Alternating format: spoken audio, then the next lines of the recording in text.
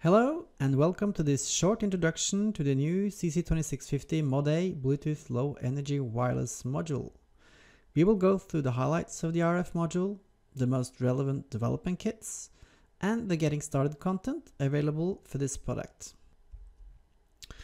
The CC2650 Mod A is an RF module which includes the CC2650 in 5x5 QFN package, antenna, crystals, and all necessary passive components.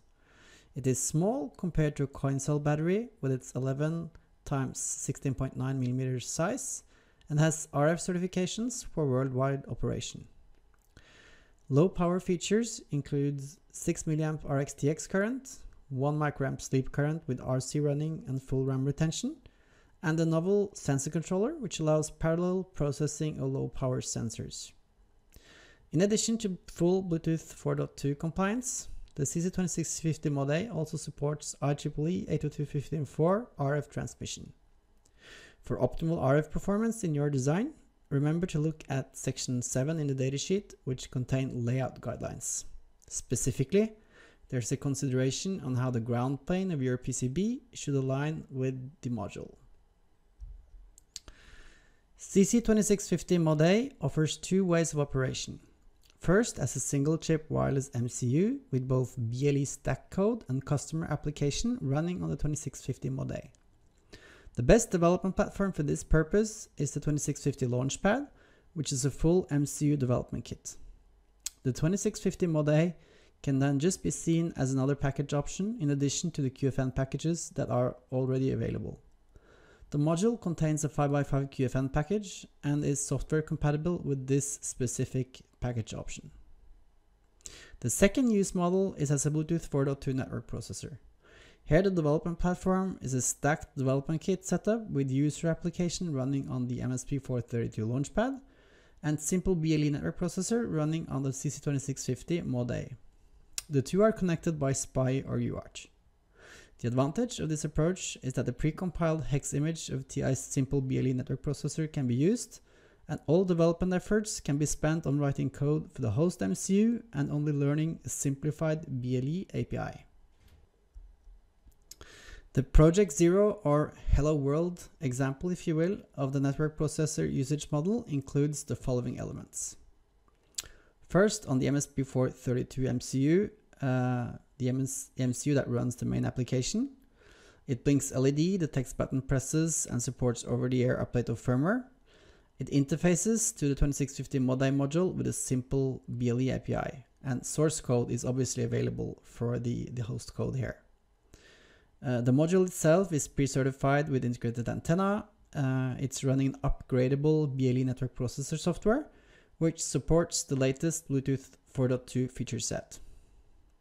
On the smartphone side, we have an Android tablet running the Project Zero app, and it supports blinking LEDs and showing button status. To get started with the Project Zero example, get an MSP432 Launchpad and the 2650 Mod A booster pack and go to the TI Resource Explorer at dev.ti.com slash boostxl CC2650MA. With the boards assembled and connected to your PC or Mac via USB, you can quickly program your setup with the Project Zero example code directly from the browser. Next step is to use one of the suggested smartphone apps available for both iOS and Android, including source code examples. The Project Zero code example implements three custom services. First, the LED blink service that lets you blink the two LEDs on the MSP432 Launchpad. Then the button service, which lets you detect button presses and get button press notifications.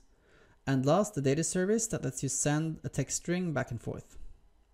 The Project Zero example is the ideal small software example which can serve as a basis to build your own application.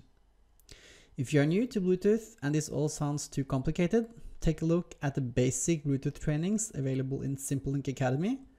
They will get you up to speed. SimpleLink Academy is a set of labs that introduce various topics related to BLE, RTOS, and other aspects of the TI SimpleLink devices. The labs provide tasks for the user to accomplish with interactive feedback, quizzes, and suggestions for solutions to the tasks. There's one specific lab presented on the network, the simple network processor, and this lab uses the CC2650, 20, CC2650 Mod-A booster pack and the MSP432 launchpad as the training hardware. Check it out today and learn all about how to use the CC2650 Mod-A as a network processor in your application. So here are the two development kits that you need. First, the uh, MSP432 launchpad, which is here basically with a uh, USB cable. And then you have the CC2650 module booster pack here. And in this kit, you will also find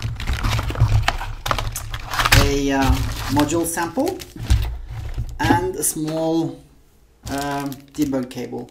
This cable can be used to debug on the module directly. There's a connector here and here, and you can use the debugger on, on the MSP uh, 432 Launchpad for this.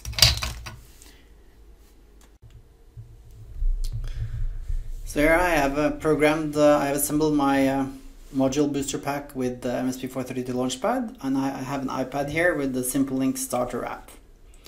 So I'll start that app, and I see my uh, Simple Network Processor here, and I will do a uh, service explorer where I can explore the services.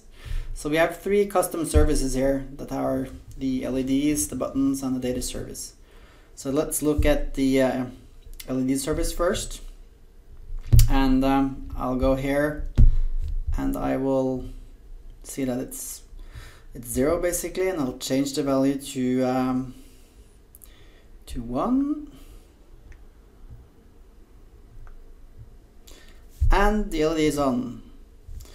Uh, in the same manner I can go into the second the second um, service here. And um, I'll uh, set the not notification to, to on.